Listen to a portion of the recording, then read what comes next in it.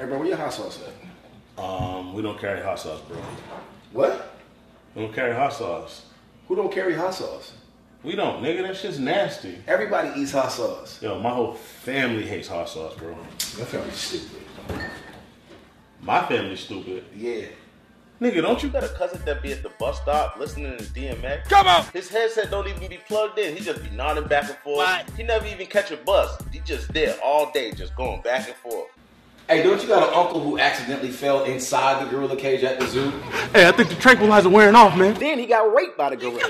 Didn't your cousin get fired for watching porn at work? Oh, man, ain't your uncle a door-to-door broom salesman? Hi, I'm selling broom.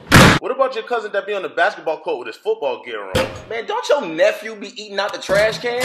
And he ain't even homeless. He just like doing it. Talking about he like bacteria. The nigga's weird.